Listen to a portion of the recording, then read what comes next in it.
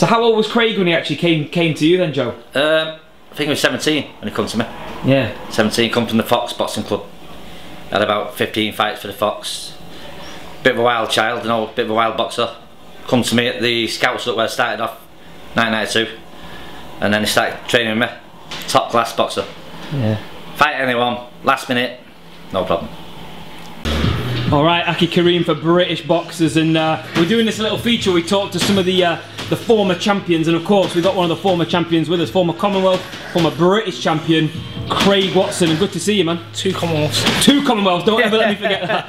Um, it's good to see you, man, and uh, just seeing you in training there as well. You know, after dusting a bit of the cobwebs off. Yeah, that? How's that? yeah, getting it's good, and I'm kind of getting the bug back for it. Really, um, I'm looking to not come back just yet. I'm just looking to train, probably spar and see where I go and see what happens. And if I've still got still got it in the tank and I still want to give it another go, I may well be back.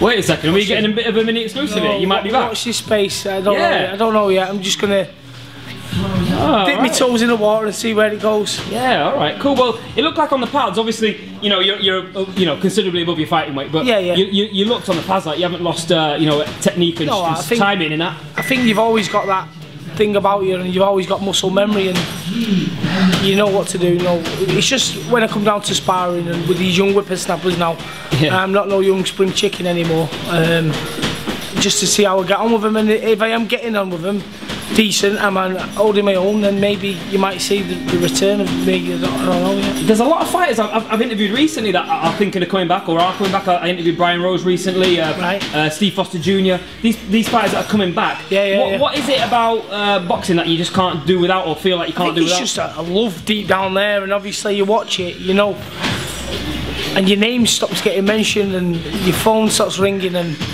it's kind of like I don't know, you, you just love the sport, and you want to be around it, and uh, you miss it. yeah. It's just it's hard not to come back to it, and and I think once you come back to it and find the love for it again, then I don't know, it's, it's just it's just hard to stay away from. Yeah, it's a bit addictive, isn't it? Yeah, yeah, It's massively. addictive, yeah. isn't it? Yeah. Um, I mean, we're back here at Northside Gym today, Joe Penn's uh, Northside Gym, and this is, uh, you know, where the journey not. You, you started at Fox ABC, didn't you? But then you came Yeah, over over here when you were about, was it 18, 19, something like that? Um, yeah, it could be. Yeah, yeah, ra- around that age. Yeah, like I used to train there with uh, Crawler and Denton. Yeah, yeah. good friends, top friends even now. But um, I just felt this was a gym for me at, the, at that time. I just felt I needed a, a fresh change, and it was when I moved here. I think I, I, at the Fox I had like 14 amateur fights, won seven, lost seven, so a mediocre kind of career.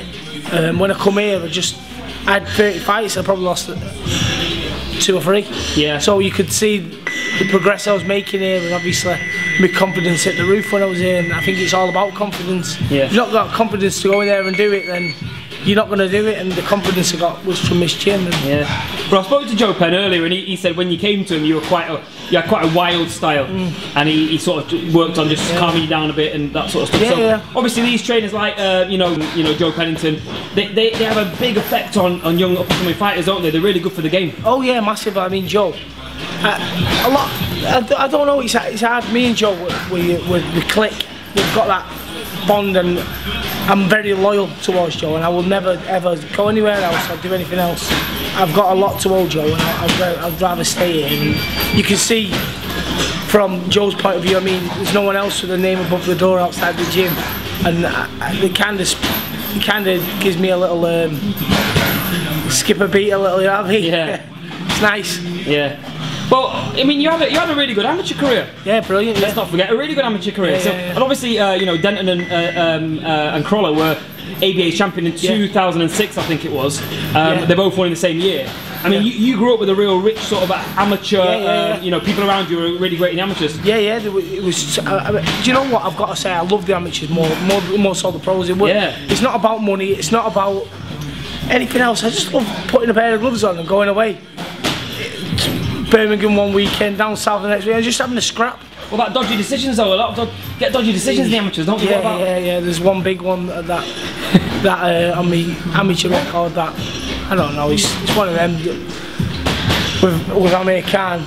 It was I don't know. It was it was a long count. I think everyone that was there on on that night, Preston Guildhall, it was on my birthday, Preston Guildhall, 2005, so it's 12, year, 12 years ago. 12 years ago, yeah. It's a long time, yeah. Um, yeah, and the referee, it was a long count. It's, it's, it's plain as simple as that. You go down in the history books, though. It's the first Yeah, I to was the, drop fir- uh, the first, yeah, yeah. Yeah, he's, he's on the he's on the uh, in the jungle now at the minute. Yeah, you- yeah, you, are you watching watching- it? Yeah, he's coming across really He's well. actually coming across He's coming alright, across really well. uh, Yeah. Do you know what? Don't get me wrong. I've, I've not got a bad word to say about him. and I think he's an amazing talent. Yeah. But um, on that night, I felt like it could have been me that that that won that night, really. But it is what it is. You hold your hands up and say, Having said that, even though um, you know you, you, you didn't win that particular fight, you, you lost on points in the end. Um, your phone was still ringing after that, wasn't it? A lot because of that. Yeah, yeah. I mean, do you know what I've got to say? From that one fight, Yeah. my confidence hit the roof. Yeah. and I just felt like a complete fighter after that. I felt like, and as my career kept going after that, confidence kept getting bigger and bigger and bigger. And um, I'd say before the Amir Khan fight, I mean, you look at yourself and you go, how you progress in, in, in boxing. I, I didn't think I'd win a British, a Commonwealth, let alone two Commonwealths. Yeah. I didn't think I'd win any of them. So to have done that, I'm kind of proud of myself. Yeah. Well, turning over into the pro game, I mean, you, you, had, you started off with some real success in the pro game. Everyone was uh, impressed with your start. You were actually known as a bit of a puncher Yeah, uh, yeah, from, was, from yeah. the amateurs. I mean, obviously in the pros it's different. Uh, you know, you didn't have as, as many stoppages. Um, sort of, it, if you look back at your record, as you may have thought. Yeah, yeah, yeah. But uh, having said that, you, when you came on the scene, people were talk- a lot of people were Yeah, talking yeah. I mean, uh, obviously that w- that one fight with Khan, kind of everyone thought, yeah, right, buddy. Right. That one fight, everyone kind of thought he was spiking it, but it- I was more of a a, a counter puncher than, than a big hitter. Yeah. A nice counter puncher, but I, I could tickle with a backhand, let's say. Yeah, yeah. And obviously you did go on to title success. Yeah. I mean the journey to any sort of title, let alone Commonwealth titles Oh, twice, yeah. let alone British titles, let alone you fought for you fight for European? You did fight for European. fought for? European, yeah. Th- You know, even getting in the mix and fighting for these titles, that that's um that's a hard long no, journey. massive, yeah, yeah, massive. What what was the hardest part uh, of the professional ranks for you for, for you Dieting. dieting? I think everyone that that's in boxing knows how hard dieting is. And yeah. I don't know. I, I loved the training. It was brilliant, and obviously back then I could dedicate my life to it. I had a sponsor and everything, and probably if I come back now, I've got to do everything around work, and it's kind of grit your teeth and get on with it. But the dieting was the hardest part of training. Oh yeah, I miss me uh, steaks and the odd curry on the weekend. That's it, man. I felt that's my tea tonight. Steak and a curry. Um, so you know, in, in terms of uh, your actual professional career, though, you did go through ups and downs to say. Oh, yeah, right? yeah, Um, I always remember in the second uh, John O'Donnell fight, uh, you know, you had to show a lot of mental toughness because it beat you previously. Yeah, and well- this one was for the vacant British title, wasn't yeah, it? yeah. Well, I think the fir- the first fight, I don't think I, I can't say I don't think I won. It was a close decision. It was away in London, and they paid me good money to go down there and, and defend my title. So they kind of bought the title more than more than beat me. But it was a close fight. I can't say I won and he won. It was it was a close, close, good fight as well. I got Yeah. nominated for the contest. Domestic fight of the year, wasn't it? Yeah, yeah, I got nominated for the. Nominated, yeah, yeah. yeah, But I didn't win it. I think Carl Froch won it. Yeah, he did. Yeah. Which one was that one? can't remember that. I Yeah. think mine was better though. yeah, standard. Um, but you know, I remember the atmosphere in the second one. The atmosphere. Oh, yeah. Was sick. It was yeah, I know, immense. I know, I know. Tyson Fury was on, on, on my undercard. Yeah, yeah, yeah. Not once, twice. Yeah. The heavyweight champion of the world was on my yeah, undercard twice. York Hall, the first one, the, the atmosphere on that was electric because that York Hall, it's, it's only small. Intense, isn't it? Yeah, the, the atmosphere is amazing. The fans are almost on you, aren't they? yeah, well, well, the second one, I only took about 120 people down there to Wembley Arena. Yeah. and I was getting boo- booed left, right, and centre. And then halfway through the fight, I, these boos turned to cheers for me. So it was kind of nice. I felt like I, I gained a bit of um, a bit of a crowd there. Yeah, it's kind of similar to what George Groves and Carl Froch, the Yeah, first yeah, one. They started booing him yeah. and then they ended up cheering Yeah, him. Um, and of course, I mean, you know, the British title win was that was that a? Would you say that was the peak of your the most the most happy night of yours? would you Yeah, yeah. Winning, winning that British title was like, oh, it was amazing. Yeah. It was honestly amazing, and it's just.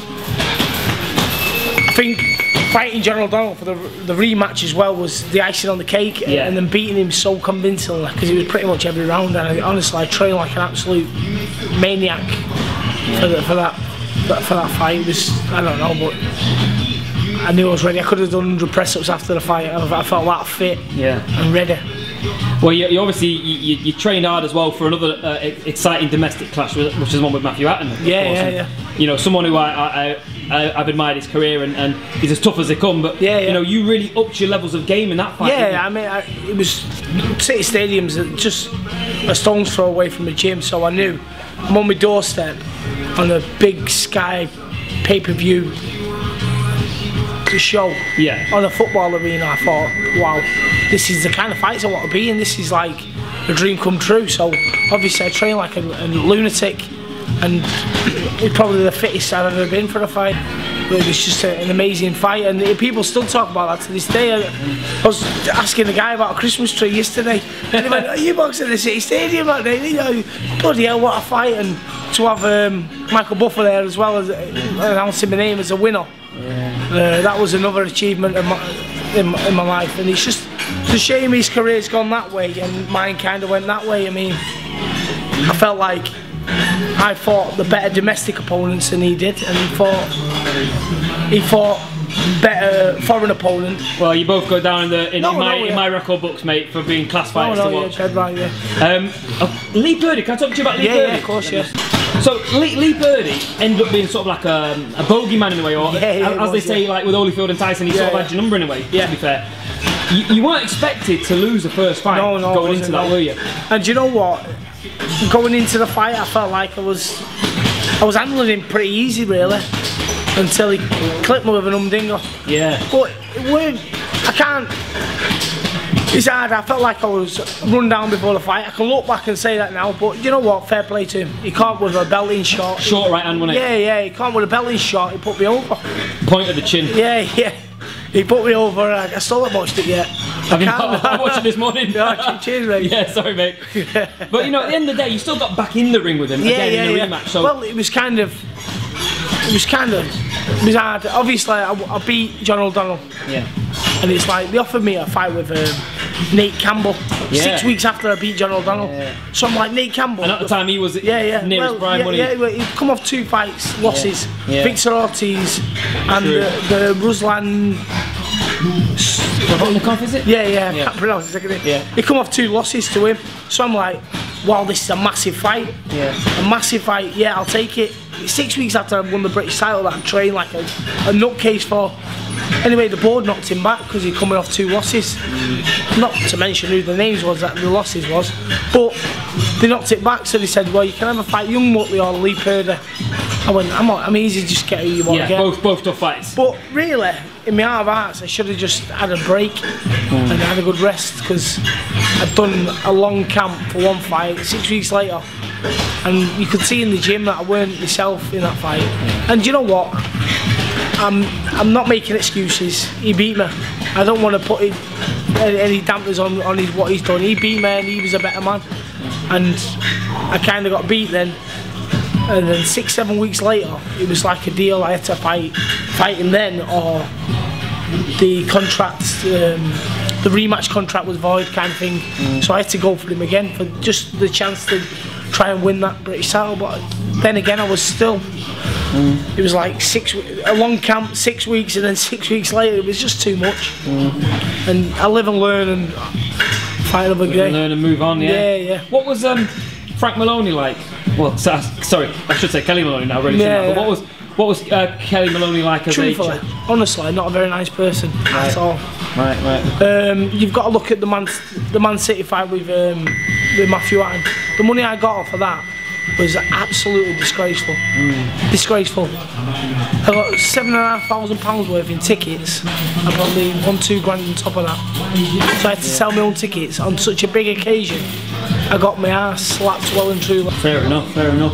I mean, you had you had a successful career. I mean, a lot of people would look back and, and Oh, have yeah. wished have a career. I mean, some people do say he, he could have been European. He could have he could have Yeah, gone on to world honours. Would you go along with that? And, and are there any regrets about? Uh, there's no regrets. I, I've done what I've done. I, I've lived my life and I've took the choices and, and I've got to live with them. But I don't know. There's a little bit in deep down thinking I could have gone.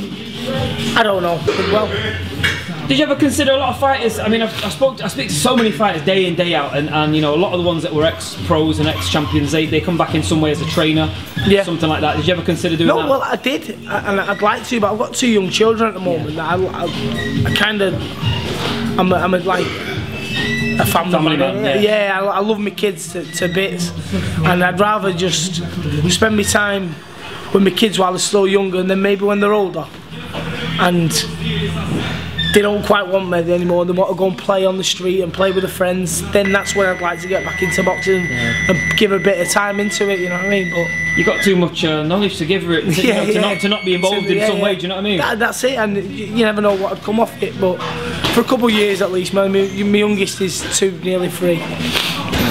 Maybe when she's six or seven and she wants to play out and don't want to spend time with me every night, then then it's different. She, I'll, I'll be back here then. Yeah. Well, it's good seeing you today because you know, and, and hearing these little rumours that maybe you're considering a comeback. yeah. And Well, I'm, I'm how old are you now? 34. I'm going to go Yeah. back in the gym and and hopefully spar with these young whippersnappers and, and just see how I get on. And if I'm doing well and I'm feeling like I'm holding my own against these young fighters, then maybe you might see more of me. I don't know yet. But it's just kind of hard at the moment because obviously the, the money's a massive thing, and obviously you're fighting on these little small hall shows, selling a million tickets. The part of being a, gr- a grown up now and starting a family is you don't go out and, with your mates like you used to. You, you can't go see them and say you want, you want five tickets. You want oh you want five. You can't do that anymore because I don't go out. I'm a bloody hermit. Get them selling them for you. Yeah, that's got, it, yeah. You've got cute faces. People That's it. So hopefully, if you're watching and you see me fighting in the future, come buy a ticket. There you go. Come buy a ticket off Craig Watson. Craig, it's been it's been great catching up with you. You know, um, I've always wanted to sort of uh, meet up with you and, and, and do something like this, and it sounds like hopefully we might get another one in the, Yeah, yeah, in the future. yeah, hopefully, yeah. Um, is there anything you just want to say on like a, on a final? No, no. I'm happy with my career went, and hopefully, with a bit of luck, if I'm still got still got a little bit, then you might see a bit more of me. Yeah, man. Well, watch this space, as they say. Yeah, yeah, watch your space. Craig Watson, really appreciate your time. Yeah. Aky Karim, British boxers, you know the score. Power. Hour.